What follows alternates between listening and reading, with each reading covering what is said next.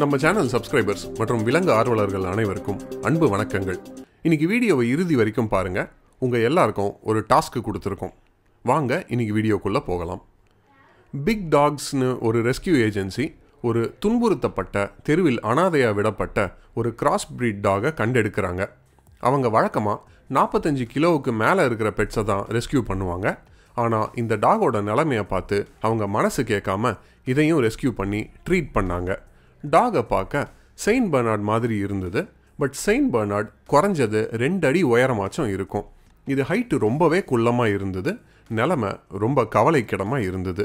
So இது ஒரு bulldog கிராஸ்னு நினச்சி விட்டுட்டாங்க. அப்போது கார்லான்னு ஒரு பெண்மணி ஒரு ரெஸ்கியூடு பப்பியை தான் அடாப்ட் பண்ணணும்னு இந்த சென்டருக்கு வந்து மற்ற டாக்ஸுக்கு நடுவில் இந்த டாகை பார்த்தாங்க. இதன் பாவமான மூஞ்சும் அந்த சோல்ஃபுல் கண்களையும் பார்த்ததும் அவங்க முடிவே பண்ணிட்டாங்க. இதுதான் நம்ம பெட்டுன்னு.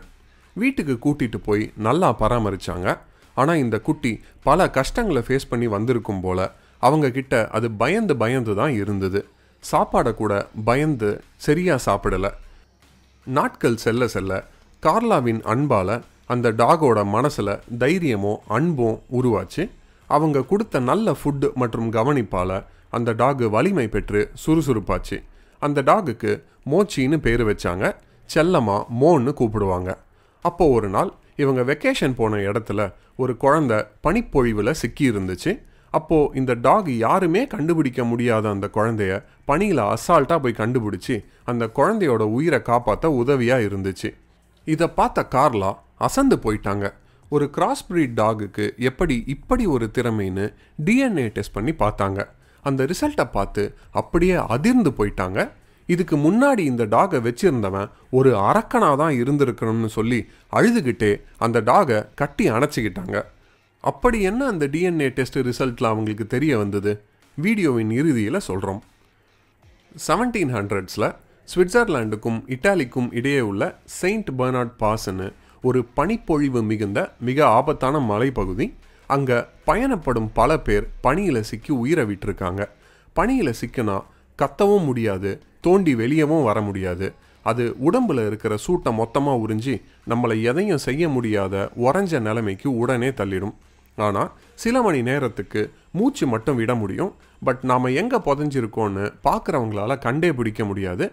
மோப்ப நாய்கள் கூட இந்த கடும் குளிர் நிலைமையில் தொலைஞ்சவங்களை கண்டுபிடிக்க சிரமப்படும். அப்போதான் இந்த ரீஜியனுக்கே உரிய நேட்டிவ் டாக்ஸோட ஹெவி ஏஷியன் மொலோசர்ஸை இந்த பகுதி வழியாக கடந்து போகிற மற்றும் ஆசிரமம் நடத்தி வந்த சாதுக்கள் ப்ரீட் பண்ணாங்க. இவங்க கால்நடை பயணம் மேற்கொள்ளும் போது இந்த டாக்ஸை கூட கூட்டிகிட்டு போவாங்க. இது அருமையாக பணியில் வழிகாட்டும். யாராச்சும் பணியில் சிக்கிட்டா உடனே அவங்களுக்கு உதவி பண்ணும். ஒருவேளை தன்னால் ஹெல்ப் பண்ண முடியலன்னா அக்கம் பக்கத்தில் போய் யாரையாவது கூட்டிக்கிட்டு கரெக்டாக அந்த ஸ்பாட்டுக்கு வந்து சேரும். இந்த டாகுக்கு அசாத்தியமான மோப்ப சக்தி உண்டு.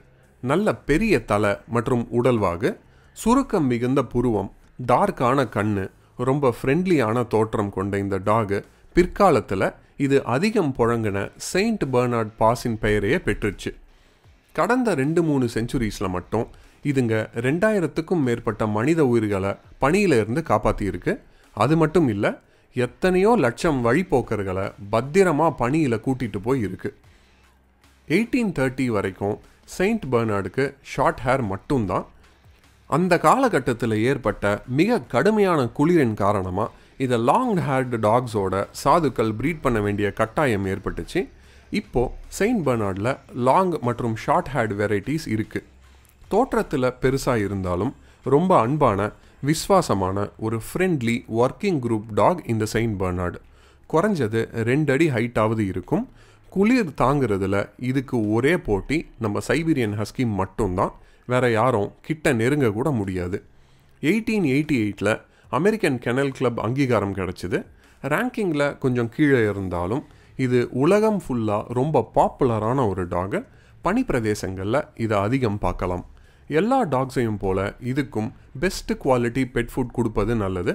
நாம் சாப்பிட்ற பொருட்களில் எது செயின்ட் பர்னாடுக்கு சூட் ஆகும் ஆகாதுன்னு உங்கள் வெட்டுக்கிட்டக்க கன்ஃபார்ம் பண்ணிட்டு கொடுங்க.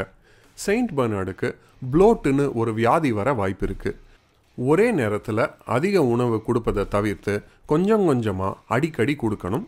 சாப்பிட்ட உடனே ரொம்ப ஆக்டிவாக எதையும் பண்ண விடக்கூடாது. இல்லைனா வயிறு ட்விஸ்ட் ஆகியும் அபாயம் இருக்குது சரி முதல்ல பார்த்த அந்த மோச்சியோட டிஎன்ஏ ரிப்போர்ட்டுக்கு வருவோம்.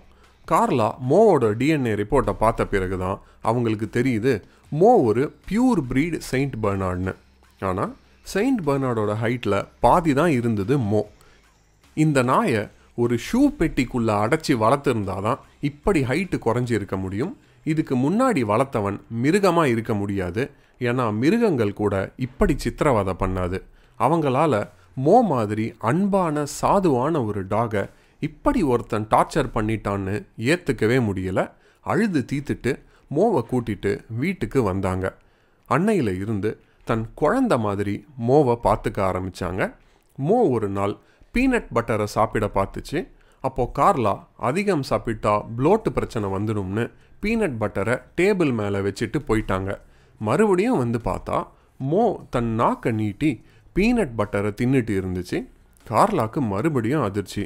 ஏன்னா அந்த டேபிள் மோ வாய்க்கிட்ட இருந்து சுமார் ரெண்டடி உயரத்தில் இருந்துச்சு. அப்போ யோசிச்சு பாருங்க மோவோட நாக்கு எவ்வளோ நீளம்னு.